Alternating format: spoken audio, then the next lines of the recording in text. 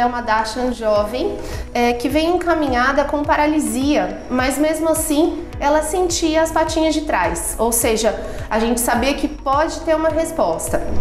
Porém, ela vem encaminhada exclusivamente para a fisioterapia. E ela já tratava com um colega a acupuntura por mais de 40 dias sem nenhuma resposta. Como isso a gente avalia o que é o melhor, qual a melhor conduta para esse paciente? O ideal sempre é, se o animal não está respondendo, a gente precisa fazer exames mais apurados.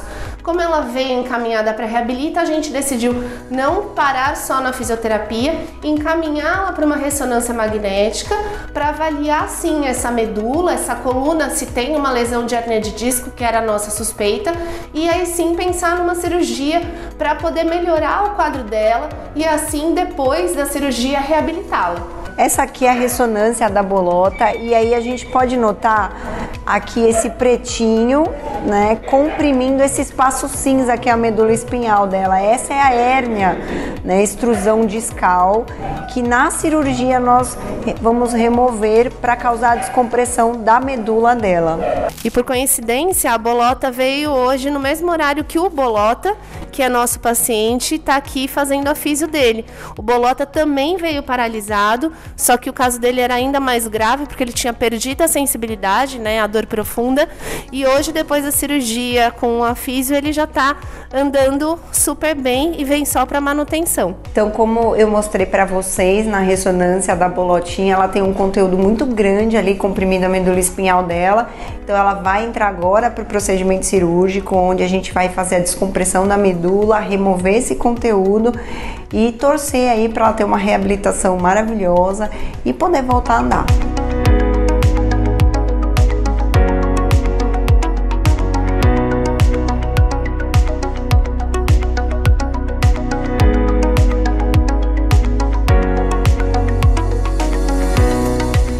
O Fred foi um cachorrinho que a gente atendeu e ele estava com um histórico de diarreia há mais de 30 dias.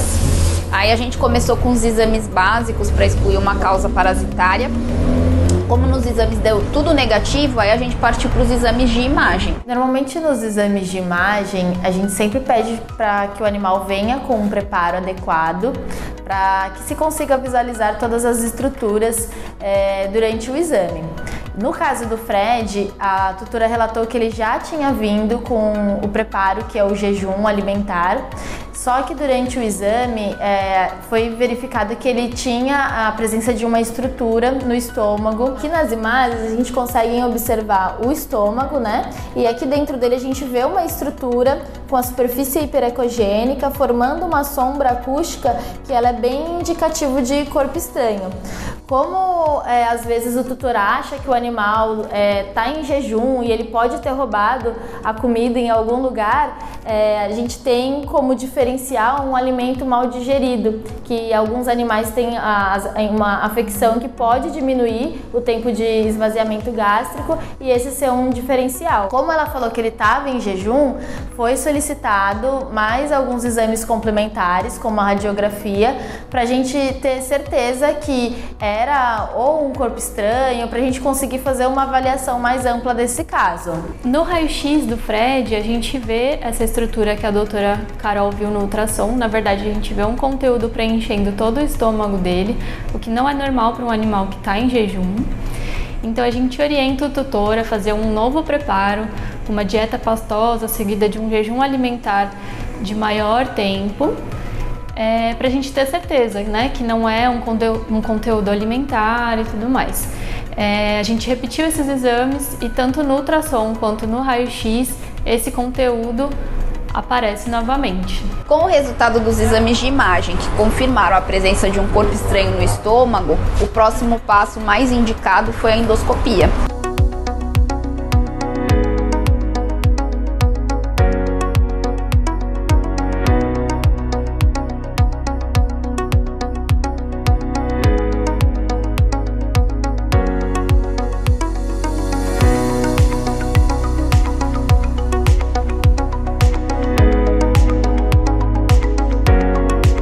Preta ontem deu um sustinho na família dela.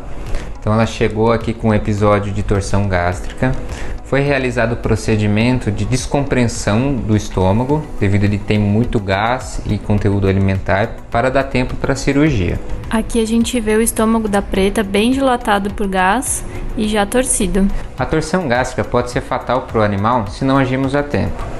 Então ela chegou com a gente, foi feita a descompressão do estômago que estava dilatado com gás para alívio para ela passar por procedimento de cirurgia que foi um sucesso. Porém, por ser uma cirurgia invasiva e ela ser uma paciente idosa, ela precisa de maiores cuidados nesse pós-cirúrgico.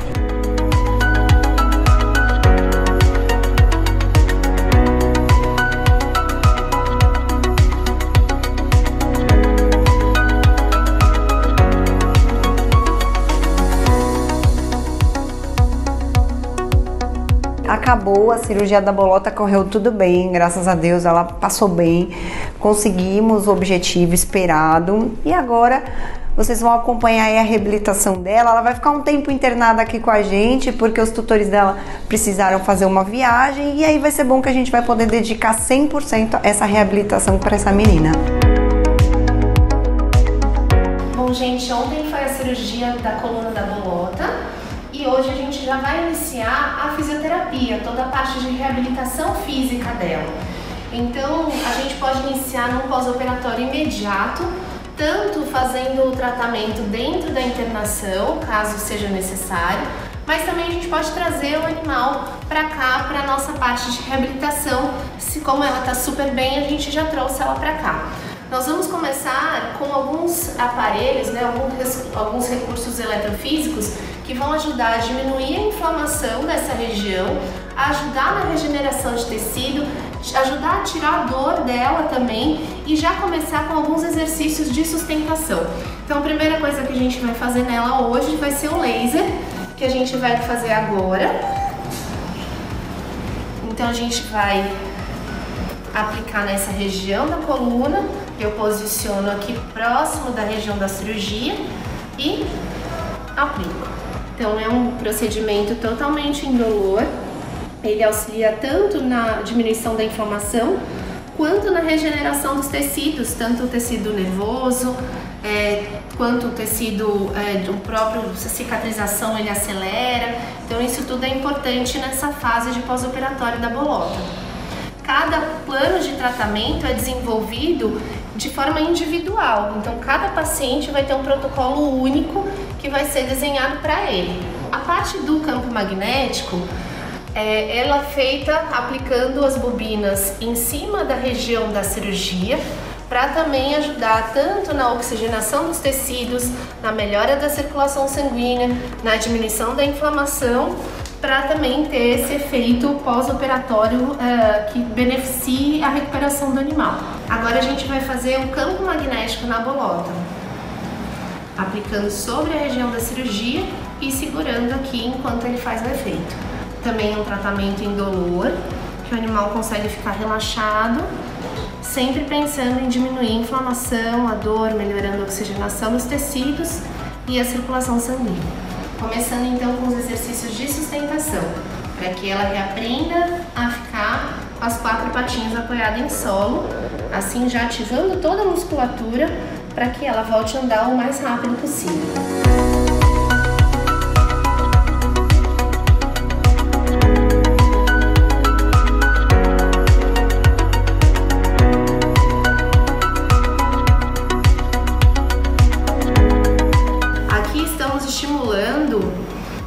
patinhas da bolota com outras texturas para que também isso estimule os receptores táteis que ela tem nas patas, para aos poucos ela já ter esse estímulo também para voltar a caminhar.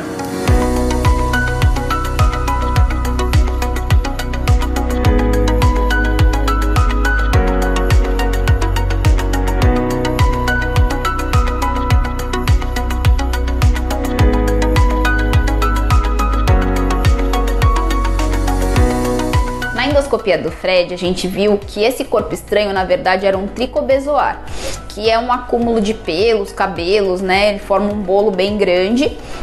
E no caso do Fred não foi possível a remoção pela endoscopia, então ele teve que partir pelo optar pelo procedimento cirúrgico.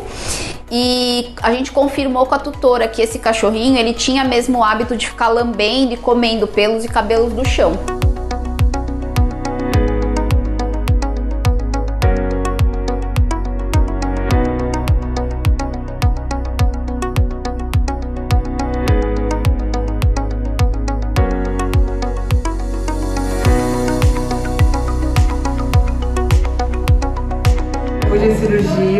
É, na melhor clínica de Santos, atendimento ah, e cuidados, né? Então, assim, estamos confiantes que vai dar tudo certo.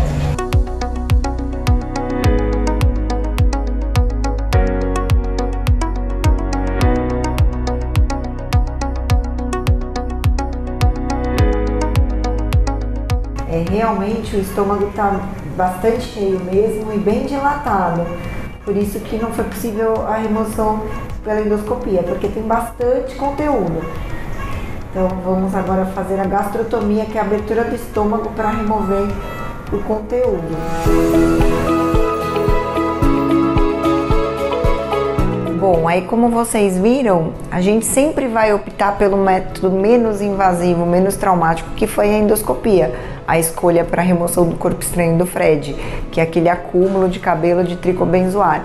Só que aquilo foi se acumulando com o tempo, foi de uma forma crônica, né? Juntando aquele bolo todo, que pela endoscopia a gente teve insucesso na remoção. Então, por isso, a gente optou pelo procedimento cirúrgico que a gente chama de gastrotomia, que é a abertura do estômago para remoção desse tipo de corpo estranho. Deu tudo certo na cirurgia dele, é uma cicatrização rápida do estômago e agora o mais importante é o tutor tomar cuidado, porque ele vai continuar comendo cabelo. Tô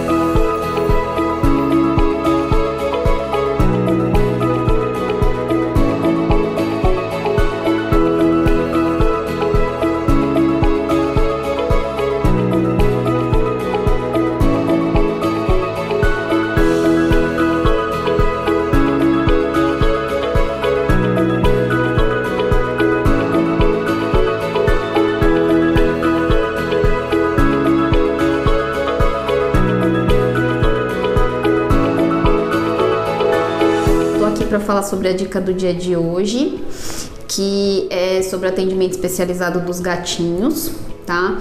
É uma espécie que tem as suas particularidades, desde é, o estresse até de sair de casa para chegar na clínica. Então a gente tem que respeitar algumas particularidades desses pequenos animais. Cuidados como o ambiente onde vai ser feito esse atendimento, um local mais tranquilo, silencioso, são coisas bem importantes. A pessoa que vai fazer esse atendimento, ela tem que ter bastante paciência, respeitar as individualidades desses animais que eles são animais que eles estressam um pouco mais com um pouco mais de facilidade em relação aos cães e a gente tem que ter esse tato e essa calma durante esse atendimento. Em relação ao ambiente, uma, pontos importantes: cuidado com a porta, né? Então tem que ter é, a gente usa aquela identificação que o consultório está ocupado para ficar evitando a pessoa de entrar e sair. Essas aberturas de porta às vezes pode ser uma rota de fuga para esses pacientes. Janela também, né? Tá sempre fechada. E outra coisa na parte da em relação à parte de contenção, a gente utilizar as técnicas mais atuais, né, e amigáveis de preferência com esses animaizinhos. E também é, sempre que possível, né, os pacientes que podem, quando a gente pode dar um agrado, né, um mimo como recompensa, um sachê, é, um petisquinho para tentar evitar eles de é, ficarem traumatizados às vezes com esses é, atendimentos.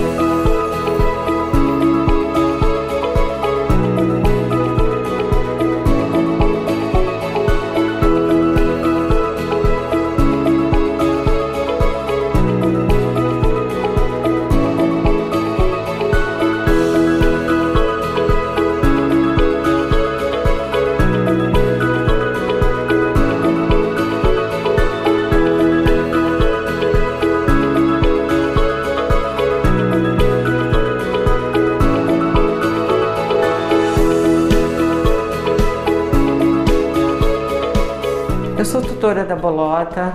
A gente procurou o Clinvet e a Reabilita Animal com muita esperança para esse serzinho da nossa família. Depois de muito tempo passar por alguns profissionais e quase sem esperança para resolver o caso da Bolota, que foi um caso de dor de muitos meses, que acabou progredindo devido a um pequeno acidente doméstico com uma paralisia dos membros traseiros. A gente procurou aqui, chegou na Reabilita Animal com a Marcela e depois, através da Marcela com a doutora Paola, a gente viu uma luz no fim do túnel, né? Com a orientação dela, decidimos, delas, decidimos a, a cirurgia.